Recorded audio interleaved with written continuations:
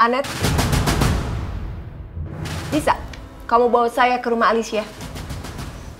Eh, Kamu nggak bisa.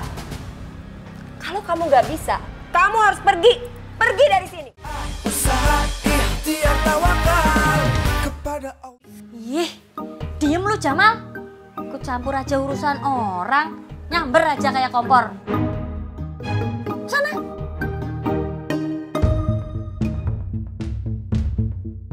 Iya, Mam. Lisa mana? Bukannya tadi kamu makan bakso bareng? Em, tadi Lisa turun duluan, Mam. Katanya dia mau beli obat ketek. Anet, kamu tahu kan? Kamu bisa dapatkan semua fasilitas mewah ini. Kalau kamu bisa berhasil membawa Alicia. Iya, saya tahu, Mam. Tapi saya yakin kamu juga nggak tahu kan?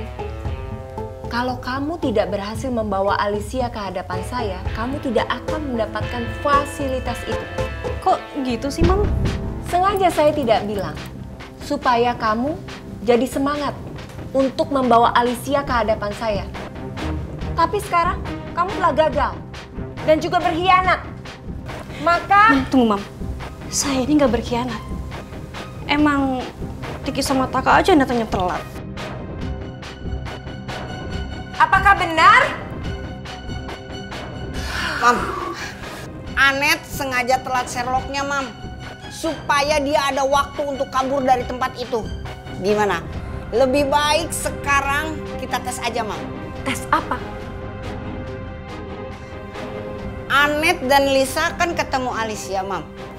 Berarti Anet tahu dong di mana rumahnya Alicia.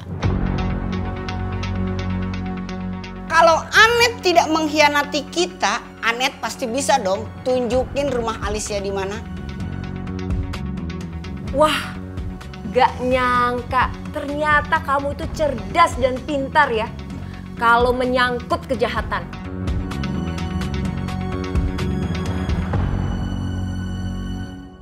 Anet, bisa kamu bawa saya ke rumah Alicia? Eh, Kamu nggak bisa. Kalau kamu nggak bisa, kamu harus pergi. Pergi dari sini. Di depan itu sudah ada om-om yang akan bawa dan beli kamu untuk pergi dari sini.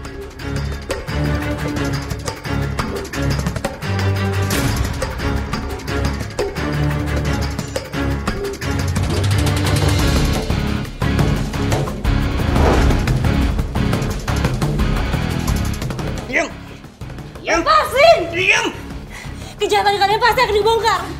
Kasih dia ke Joni supaya dibawa dia ke Timbuktu. Timbuktu di mana, Mam?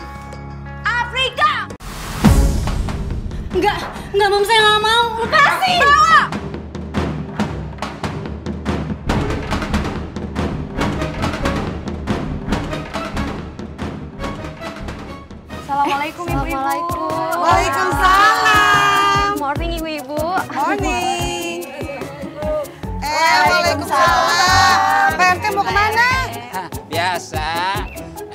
Urusan sedikit. Dapur ini ngapain ngintilin? Kepo banget sih sama hidup gue. Eh, Pak RT, udah dapat belum lokasi UKM kita? Oh belum dapet. Tadi sih Bu Lisa mau ngomong sama Bu Dena. Katanya semoga aja rumah kosongnya bisa dipakai. Oh, rumah kosong yang dulunya mau dijadiin kafe. Iya Pak RT. Lega tuh, kayak polanya si Jamal. Saya Pak RT dah. ya, mudah-mudahan aja Bu Dena berkenan ya.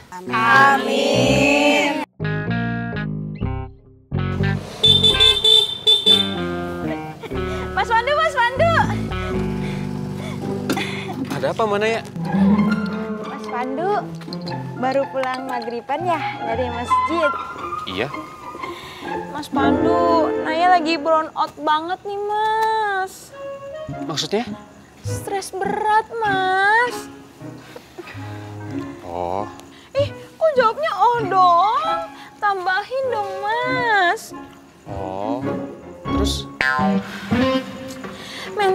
Naya lagi kurang sehat mas Pandu. Literally Naya butuh healing. Mana ya ngomong apa sih? Saya nggak paham belajar di mana sih? Mas Pandu kan guru, masa Ya, tapi kan saya guru olahraga, bukan guru bahasa Inggris. Aduh, Mas Pandu ini terlalu overwork. Ah, Mas Pandu butuh work-life balance. Nah, makanya sekarang nih, mumpung belum Isa, yuk kita jalan-jalan ke mana gitu. Mau nggak? Mau ya? Mau dong. Maaf ya, Mana ya. Saya harus pulang, soalnya besok banyak tugas. Ya, Assalamualaikum. Waalaikumsalam.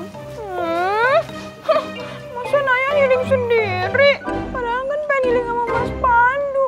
Kan romantis berduaan di motor. Saya juga minta dukungan sama Pak Ustadz. Sekalian juga saya mau minta tolong nih buat Bang Dedi, Mbak Isa. Kalau ada keluangan waktu, saya juga minta tolong ya. Oh siap Pak RT, saya dukung. Terima kasih. Tapi punten Pak RT, ada konsumsinya nggak? Ada dong, ada. Ayo, ayo. Mantap atau mantap. Kita wajib membantu usaha Pak RT untuk memajukan kampung kita sama-sama. Ya kan Bapak-bapak? Iya, Iya, Ustaz. Ya, iya. betul, betul. Ya, Ustaz.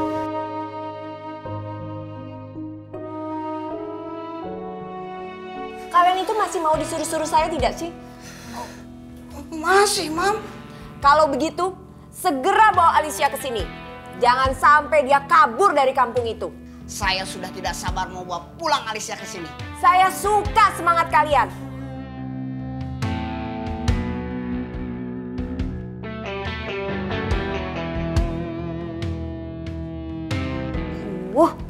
Banget sih nih. Maaf, Mam. What? Kan gini, Mam. Kalau Anet bisa bawa pulang Alicia ke sini dapat fasilitas. Terus? Nah, kalau kita bisa bawa pulang Alicia ke sini dapat fasilitas juga kan, Mam? Ya, boleh. Asik. Terima kasih, Mam. Saya akan tambahin uang makan kalian. Sepuluh ribu. Oh, ja- jangan. Gak mau? Cari mami lain kalau nggak mau. Iya, deal, Mam. Ah. Bank sampah adalah strategi untuk membangun kepedulian masyarakat agar dapat berkawan dengan sampah dan juga dapat mendapatkan eh, manfaat ekonomi dari sampah. Nah, jadi bank sampah ini tidak bisa berdiri sendiri ya ibu-ibu, melainkan harus didirikan melalui integrasi 3R, reduce, reuse dan recycle. Artinya, Mengurangi, memakai ulang dan mendaur ulang sampah-sampah di lingkungan kita dan dimulai dari rumah kita sendiri. Bank sampah juga bisa dijadikan solusi untuk mencapai pemukiman yang nyaman dan bersih bagi warganya. Dengan pola ini, selain warga menjadi disiplin dengan sampah, warga juga bisa mendapatkan uang tambahan dari mengumpulkan sampah. Cuan, cuan.